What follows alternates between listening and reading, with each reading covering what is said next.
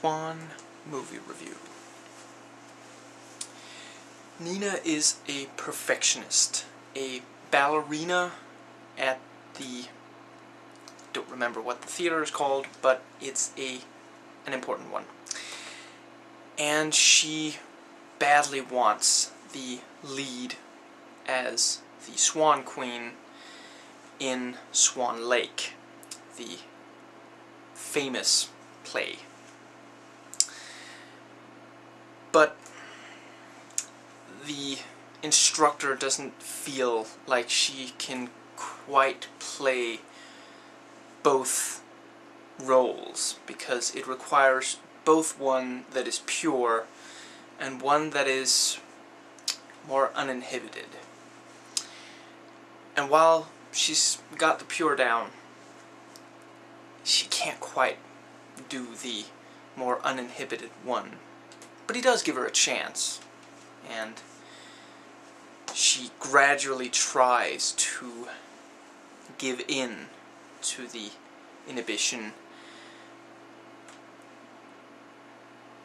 if that made sense and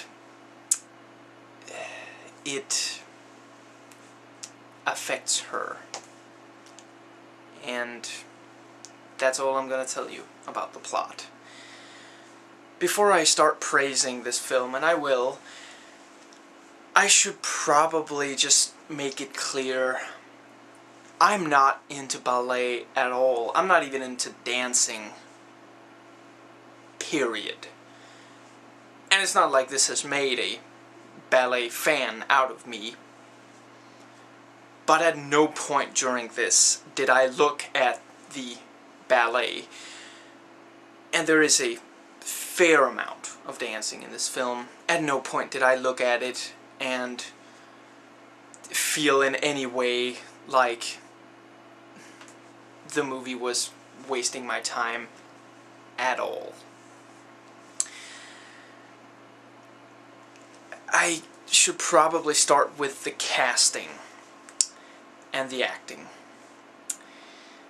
Portman is pitch perfect. I'm not sure it's going to be a big surprise that she does incredibly well as the pure Nina, the image of purity. But, and this really isn't a spoiler, she, there is a version of Nina that is more dark, and she performs perfectly as that as well.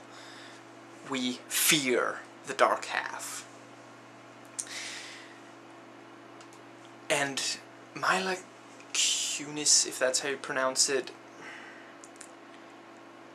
I hope I'm not hurting anyone's feelings here, but from my experience, she's not exactly that great of an actress. But she gets it perfectly right here. I think the casting is a big part of it. In the part of both of them. I don't think that either of them could have handled the other's role quite as well. And that's in spite of the fact that Portman is a pretty good actress when she's just given good material. And yes, by that I am saying that, you know, the fault of the Star Wars prequels was on George Lucas's writing.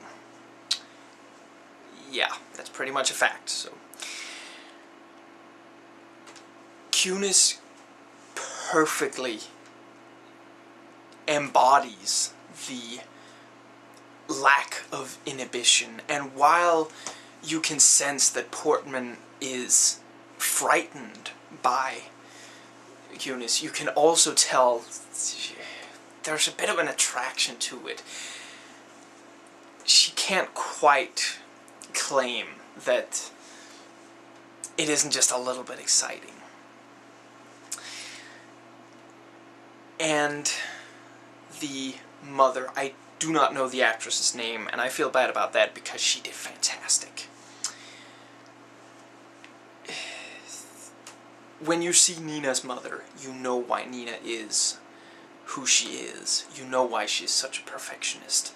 the mother, as you know, she's the stiff upper lip, wanting her offspring to do well. She's basically living vicariously through Nina.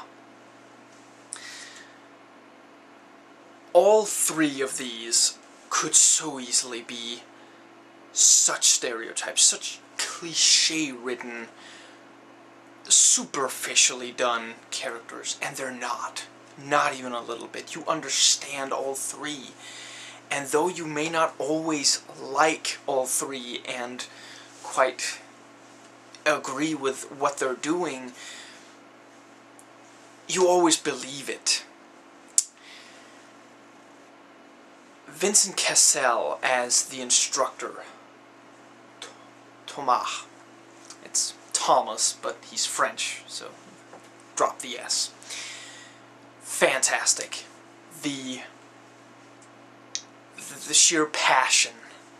I don't know if Cassel has any kind of past with dancing, much less ballet. I don't know exactly where, what he drew on to get that kind of passion, that kind of fire into his movements and his eyes, but he did it. Just impeccable. And that's essentially it for the acting and the characters. And the passion nicely brings me into, in general, this is a passionate film. And in fact, downright erotic. I would say that if this does nothing for your libido, I'd have to guess you were a genetically mutated, asexual being that just looks a lot like a human being. Just putting that out there. The sexuality of Nina becomes a sort of symbol for the inhibition, you know, because I hope this isn't shocking anyone. If you're listening to this and this is a shock to you, you're probably not old enough to handle the movie. Or mature enough, whatever. With sex, you have to let go, you know. You can't have control all of the time. And Nina being the perfectionist, she's also a bit of a control freak. Those two things kind of go together. So there is, you know, that becomes the symbol for it, and it just it works incredibly well. There is a fair bit of eroticism and sexuality, and it is really not gratuitous at all. It's it's quite impressive. There's also some swearing, and it's very strategically used. Excuse me. It's worth noting who swears and when in this movie. And I have to say some about the technical approach also. I have not yet watched The Fountain. I know I will now. What what can I say? I I really do enjoy both Pi and Requiem for a Dream. And yes, Requiem for a Dream is manipulative, so, you know.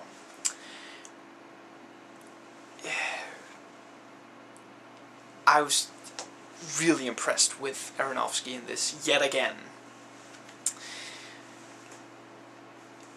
The man really knows how to deal with the whole psychological, you know, especially matters of, like, obsession, you know. He and Christopher Nolan, I don't know who they've dealt with in their personal life who was really obsessed, but they just, they both love doing movies about that. The the typical traits, the trademarks of Aronofsky are present here. We get grotesque brutal, gruesome sights and sounds. I'm not going to give any of them away. And the veritable transformation is rather well handled. It's the sort of thing that could very easily be silly and over the top, and it really isn't. The score by Clint Mansell, also from Requiem for a Dream, incredible. The cinematography is just fantastic. There's this scene at a dance club, and just you feel like you're there. You know, you feel like you are there dancing with them, you know, inebriated, too inebriated to understand the meaning of the word inebriated.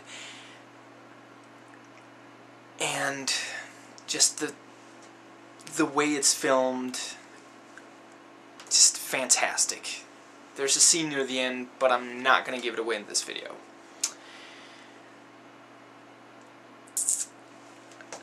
It's also worth noting, and maybe this is just you know, kind of geeky, because I'm a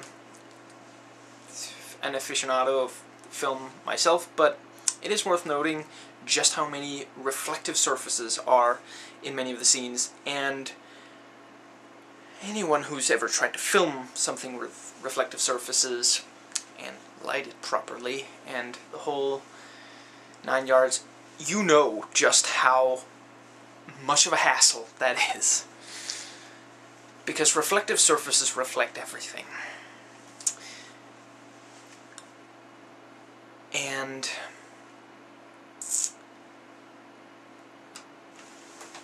for anyone else who walk into this knowing nothing at all about ballet, you can appreciate the visual. I did not expect to be able to do so.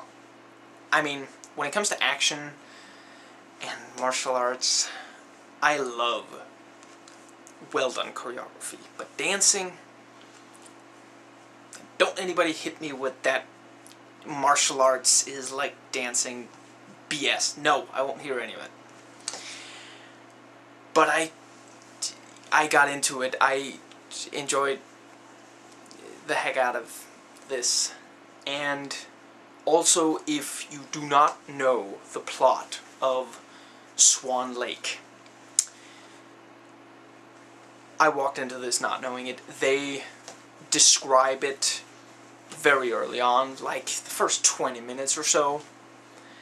They basically, you know, give you a brief summary of it, so you'll know what it's supposed to be, and later they give a little bit of an analysis of some of it also.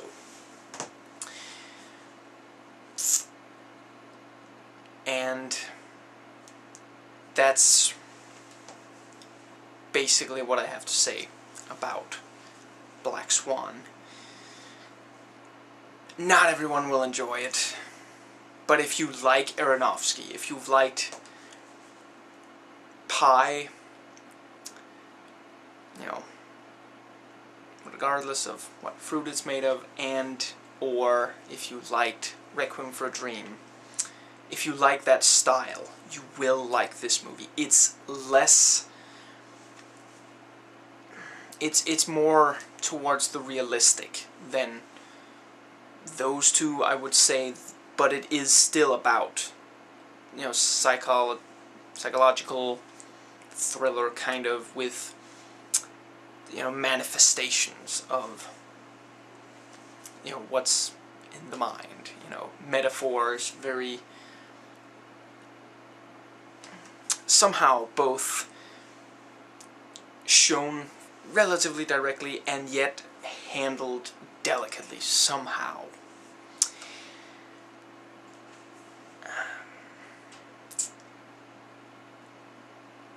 Yeah, if you like psychological thriller drama, or Natalie Portman,